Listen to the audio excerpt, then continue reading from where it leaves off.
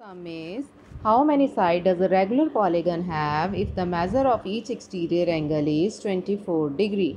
Sorry ये third है आपका fourth sum how many side does a regular polygon have if each बच्चे, अब जो पिछला सम है, उसमें हमें एक्सटीरियर एंगल दिया था तो हमें नंबर ऑफ़ साइड फाइंड करनी थी. अब यहाँ पे हमें इंटीरियर एंगल गिवन है तो हमें नंबर ऑफ़ साइड्स फाइंड करनी है. इंटीरियर एंगल गिवन है इट मीन्स पहले हमें उससे एक्सटीरियर एंगल निकालना होएगा राइट तो एक्सटीरियर एंगल कैसे निकालेंगे? आपको सबको पता ही है, जो हमने लास्ट सम में भी किया है, कि इंटीरियर एंगल जैसे ये फिगर है सपोज़ करो, ये इंटीरियर एंगल है और ये एक्सटीरियर एंगल है।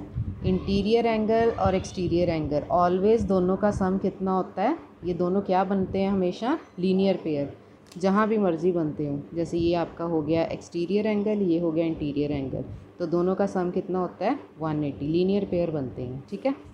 तो अब इस फोर्थ सम में फोर्थ सम में हमें गिवन है इंटीरियर एंगल गिवन है 165 डिग्री ठीक है? तो हम पहले इंटीरियर एंगल से एक्सटीरियर एंगल फाइंड कर लेंगे। Interior angle plus exterior angle is equal to 180 degree this is linear pair ठीक है? इंटीरियर एंगल हमें गिवन है 165 degree plus exterior angle equal to 180 degree अब यहाँ से एक्सटीरियर एंगल आ गया आपका 180 एटी माइनस वन ये आ गया आपका माइनस करके 15 डिग्री अब आपका पिछले थर्ड सम जैसा सम हो गया, आपको एक्सटीरियर एंगल गिवन है, आपको नंबर ऑफ़ साइड्स फाइंड करनी है। ठीक है? तो नंबर ऑफ़ एक्सटीरियर एंगल किसके इक्वल हो गया? 360 डिग्री या आप ऐसा भी लिख सकते हो number of sides is equal to 360 degree upon exterior angle ऐसे भी कर सकते हैं, या फिर number of exterior angles is equal to 360 degree upon single एक एंगल जो है. ठीक है ना? Total sum upon exterior angle number of exterior angle है ना? तो नंबर ऑफ़ एक्सटीरियर एंगल कितने आ गए आपके पास? ट्वेंटी फोर ठीक है? तो जितने फिगर के एंगल होंगे एक्सटीरियर उतनी ही फिगर की साइड्स होती हैं, ठीक है ना? जैसे थ्री एंगल हैं तो वो थ्री साइड्स हैं फोर एंगल हैं तो फोर साइड्स हैं। जितने एंगल की फिगर के एंगल होते हैं, उतनी फिगर की साइड्स होती हैं। तो नंबर ऑफ़ एक्सटीरियर एंगल आ गए twenty four number of sides कितनी आ गई? Number equal to number of exterior angle number of exterior angle हमारे पास ट्वेंटी फोर है तो नंबर ऑफ़ साइड्स कितनी आ गई? ट्वेंटी फोर राइट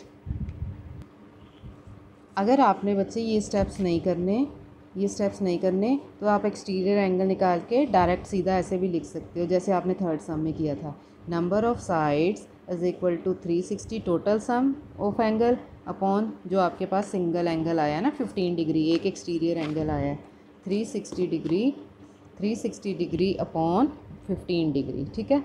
तो इनको डिवाइड करके कटिंग करके आ गया ट्वेंटी फोर ये आ गया नंबर ऑफ़ साइड्स आ गया ट्वेंटी फोर चाहे तो आप इस सम के इतने पार्ट के बाद ये वाला पार्ट कर लो, चाहे इतने पार्ट के बाद डायरेक्ट ये भी कर सकते हो, ठीक है? दोनों सही हैं both are correct okay now sum number five is it possible to have a regular polygon with measure of each exterior angle as twenty degree कहते कोई ऐसा पॉलीगन पॉसिबल है जिसका जो है exterior angle twenty two degree हो? Listen exterior angle तभी possible polygon तभी पॉसिबल होते हैं अगर हमारे पास जो एक्सटीरियर एंगल है पॉलीगन तभी पॉसिबल है ना अगर जो एक्सटीरियर एंगल है, वो जो है 360 से डिवाइड होता हो। Mean total sum exterior angle का कितना होता है? 360 होता है ना?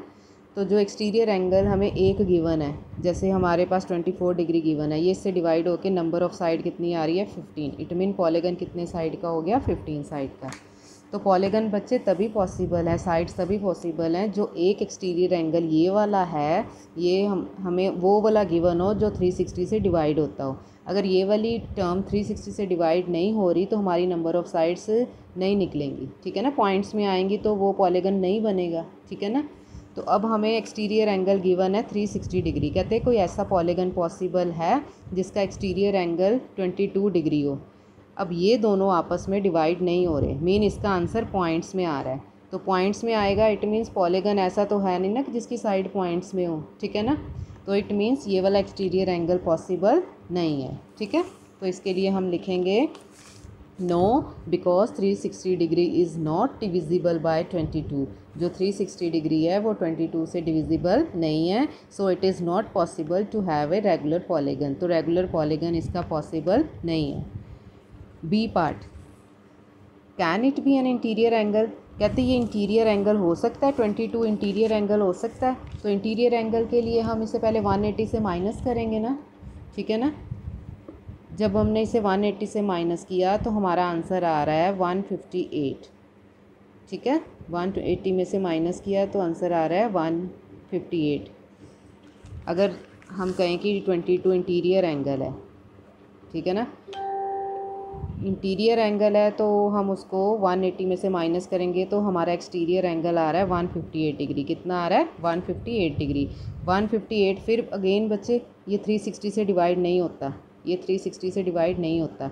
इट मीन्स जो 22 इंटीरियर एंगल भी इंटीरियर एंगल भी 22 पॉसिबल नहीं है। ठीक है?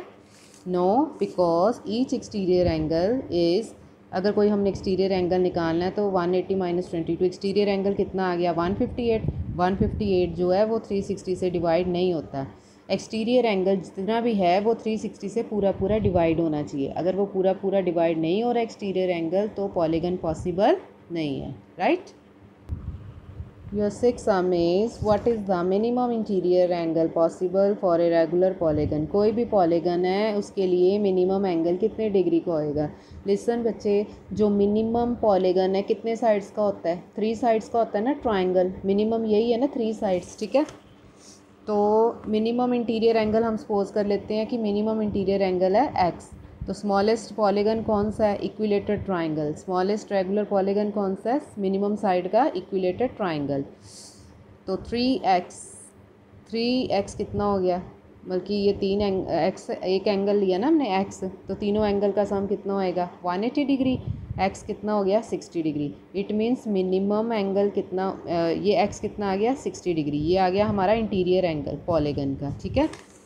मिनिमम इंटीरियर एंगल कितना होएगा? सिक्सटी डिग्री अब मैक्सिमम एक्सटीरियर एंगल निकालना है। तो मैक्सिमम एक्सटीरियर निकालना है तो उसको 180 में से मिनिमम इंटीरियर एंगल को माइनस कर देंगे, वो हमारा आ जाएगा मैक्सिमम एक्सटीरियर एंगल मैं फिर रिपीट कर रही हूँ सम को.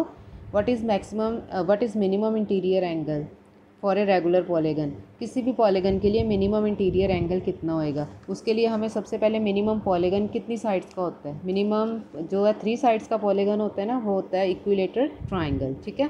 तो उसके एंगल हमने मिनिमम एंगल सपोज़ कर लिया एक्स तो उसके एंगल्स का सम कितना होएगा? X plus x plus x is equal to बल्कि three x is equal to one eighty degree यहाँ से एक्स कितना आ गया? सिक्सटी डिग्री ठीक है? तो ये आपका हो गया मिनिमम एंगल पॉलीगन का, ठीक है?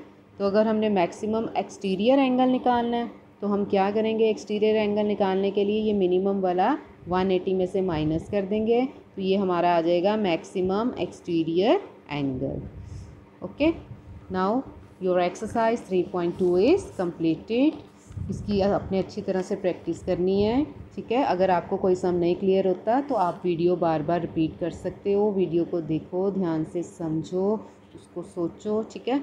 तो आप उसके डाउट्स क्लियर करो तो आप इस एक्सरसाइज की प्रैक्टिस करोगे राइट थैंक यू